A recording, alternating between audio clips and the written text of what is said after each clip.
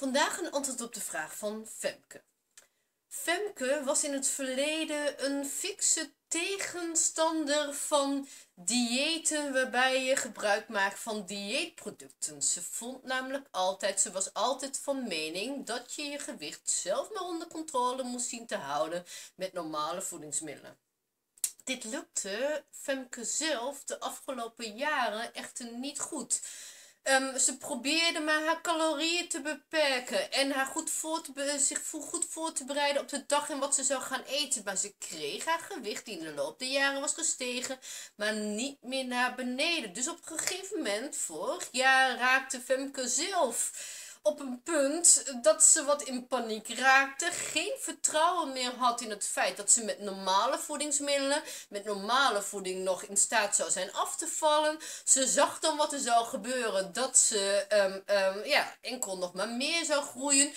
Dus ging ze vanuit een paniekreactie een dieet volgen, ja, waar ze eerder tegenstander van was, op basis van maaltijdvervangende dieetproducten. Dit dieet volgt ze nu al een hele tijd en ze valt supergoed af. Alleen, nu komt de angst toch al wel naar boven Um, uh, met het vooruitzicht voor later. Want dankzij deze dieetproducten valt ze dus af. Iets wat daar voorheen met normale voeding, op basis van normale voedingsmiddelen, niet meer lukte. En er gaat natuurlijk een moment komen dat ze op een gewenste gewicht zit, of dat ze op haar streefgewicht zit. En dan zal ze het dieet stoppen. Zal ze dus weer normaal gaan eten. Normale voedingsmiddelen gaan eten. Dus de vraag van Femke is vandaag zal ik dan ook vanzelfsprekend weer aankomen. Nou, Femke. Aankomst. Aankomst is het gevolg van een hogere calorieinname dan hetgeen je lichaam verbruikt. Wanneer je een dieet volgt op basis van maaltijdvervangende producten, dan is het heel erg afgebakend wanneer je zo'n product neemt en hoeveel calorieën dat bevat. In totaal op een dag krijg je dan echt heel weinig calorieën binnen. Dat betekent, ja, je valt nu prachtig mooi af. Dat duidt dus op nu momenteel met behulp van die maaltijdvervangende eh, producten een beduidend lagere calorieinname dan hetgeen je lichaam verbruikt. Anders zou je niet afvallen. Eerder viel je niet af. Dus dat wil zeggen dat je huidige eetpatroon, dus je eetpatroon op basis van die maaltijdvervangende producten, beduidend een lager caloriegehalte heeft dan jouw eerdere voeding op basis van normale voedingsmiddelen. Dat betekent dat je, zodra je weer normaal gaat eten, um, zodra je weer die normale voedingsmiddelen binnenkrijgt, dat het heel makkelijk zo kan zijn dat dat weer een teveel aan calorieën kan gaan verschaffen. Um, omdat je, het calo je calorieinname met behulp van die dieetproducten momenteel heel laag is dat het uh, weer zoveel calorieën gaat bevatten, dat je dan inderdaad weer hoger zit dan het verbruik in je lijf en dat je als gevolg daarvan aan gaat komen. Maar dat hoeft niet. Er zit namelijk nog een gebied tussen aankomst en uh, afvallen. Want afvallen doe je dus met een lagere calorieinname dan hetgeen je lichaam verbruikt. Um, um, aankomst is het gevolg van een hoge, hogere calorieinname dan hetgeen je lichaam verbruikt. Maar je kunt ook stabiel blijven op dat gewicht wat jij straks weet te bereiken, jouw streefgewicht. En stabiel blijven is het gevolg van een vergelijkbare calorieinname dan hetgeen je lichaam verbruikt. Dat betekent dat als je latere eetpatroon op basis van normale voeding, normale voedingsmiddelen, een iets hoger caloriegehalte bezit dan momenteel, dat helemaal niet erg hoeft te zijn als het maar niet een, een teveel aan calorieën bevat ten opzichte van je verbruik. Maar ja, hoe weet je nou het verbruik in je lijf? Waar is het verbruik in je lijf eigenlijk van afhankelijk? We denken allemaal dat is afhankelijk van je activiteit. Ben je actief, dan is het verbruik hoog. Uh, ben je niet zo actief, is het verbruik in je lijf veel lager. Maar jouw lijf heeft een mechanisme. De stoffen die bijvoorbeeld in jouw bloedbaan zitten en ook terechtkomen als gevolg van hetgeen jij eet, die moeten verdeeld worden over jouw weefsels en cellen en daar moet het verbruik daarvan, het benutten daarvan plaatsvinden. Dat is het verbruik, dat benutten, dat verbruiken van die voedingsstoffen. Maar daarvoor moet dus wel een goede verdeling en opname over alle weefsels en cellen van jouw lijf mogelijk zijn. Nu kan die verdeling en opname kan verslechteren en daardoor kan het verbruik in jouw lijf dus ook laag worden. En wanneer is dat het geval?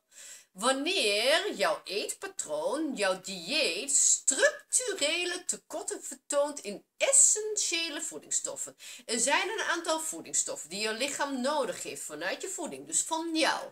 Wanneer jouw lichaam die niet verkrijgt, dan kan die verdeling en die opname van die stoffen die in jouw bloedbaan aanwezig zijn, die ook in je bloedbaan weer aangebracht worden als gevolg van hetgeen jij eet, niet goed plaatsvinden en zal het verbruik in jouw lijf laag zijn.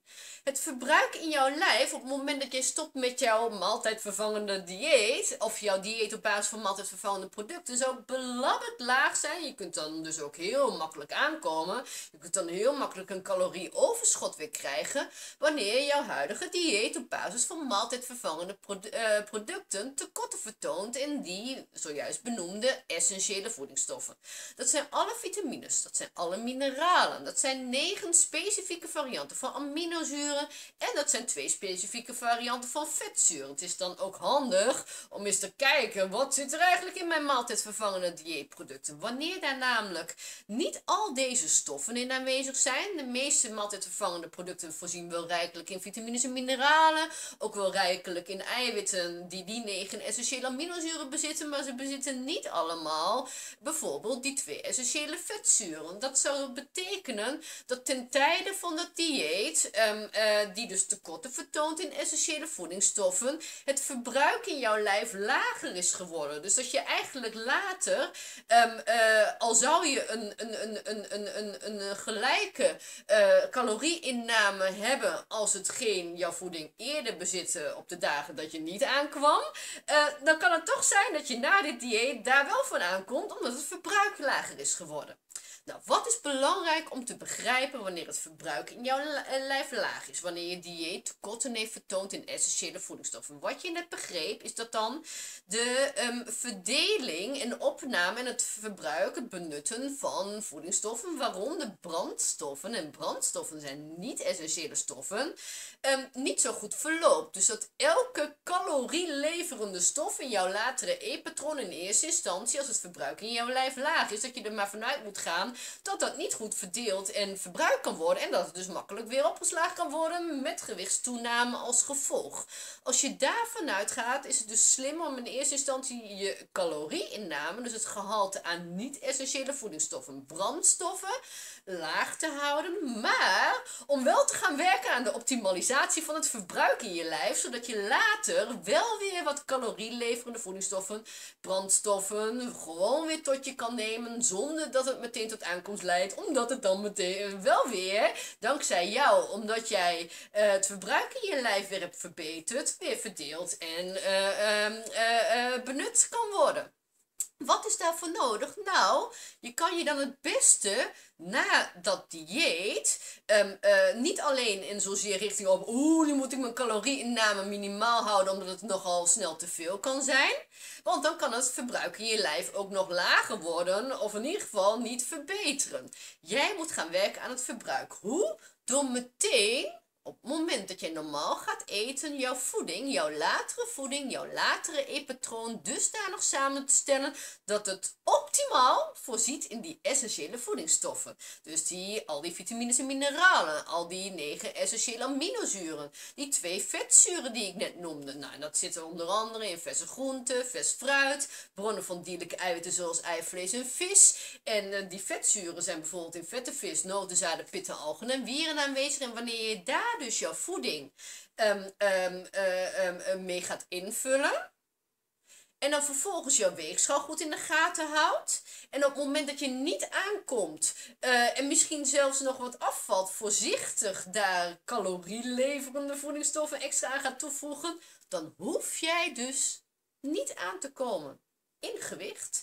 Maar weet dus dat op het moment als jij je maaltijdvervangende producten nagaat en je ziet dat daar tekorten in heersen in die essentiële voedingsstoffen, dan kun je ervan uitgaan dat het verbruik in jouw lijf laag is. En dan kan alle voeding die voorziet in niet-essentiële voedingsstoffen, brandstoffen, maar tekorten vertoont in essentiële voedingsstoffen die het verbruik in jouw lijf uh, uh, uh, helpen verhogen en, en, en dus de verdeling van voedingsstoffen mogelijk helpen maken, kan dan al heel makkelijk inderdaad leiden tot weer gewichtstoename. Maar dat kun je dus in de kiem smoren door te richten op het optimaliseren van je latere eetpatroon in essentiële voedingsstoffen.